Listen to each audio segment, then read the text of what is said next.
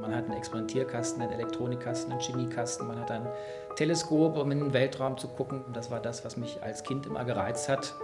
Und dann liest man so Geschichten über Einstein und über all diese wilden Physiker, die die Quantenmechanik vor dem Zweiten Weltkrieg entwickelt haben. Und das hat mich irgendwie total fasziniert und von da an stand mein Berufswunsch fest, ich will Physikprofessor werden.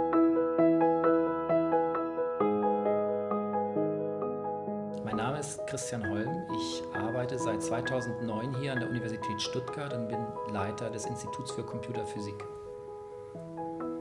Die einfachen Probleme in der Physik äh, sind heutzutage im Prinzip alle gelöst worden. Und wenn wir uns angucken, wie wir komplexere Probleme lösen können, dann müssen wir halt äh, verschiedenste Methodiken anwenden und die Computerphysik erlaubt uns jetzt eben auf dem Computer bestimmte Algorithmen, bestimmte Vorstellungen der Wirklichkeit abzubilden und zu gucken, was für Ergebnisse wir daraus entwickeln können. Ich denke, dass wir einen sehr tiefen Zugang äh, zur Simulationstechnik in der Physik gefunden haben. Wir haben zum Beispiel auch ein eigenes Computerprogramm entwickelt und mit diesem Programm versuchen wir Physik zu machen, das heißt grundlegende Erkenntnisse zu gewinnen, die man sonst vielleicht im Experiment, aber auch in der rein analytischen Arbeit nicht gewinnen kann.